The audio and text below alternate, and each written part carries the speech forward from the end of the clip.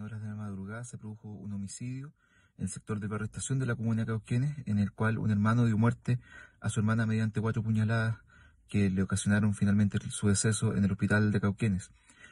Se encuentra eh, pendiente una orden de detención verbal emanada por el juzgado de garantía de Cauquenes, la cual tiene por objeto detener tan pronto sea posible al sujeto que ya se encuentra individualizado y existen reconocimientos y pruebas científicas hasta el momento que dan cuenta de su participación. Lo importante es eh, buscarlo. Eh, hay unidades de carabineros dispuestas por toda la ciudad eh, para obtener tan pronto sea posible su hallazgo y su detención.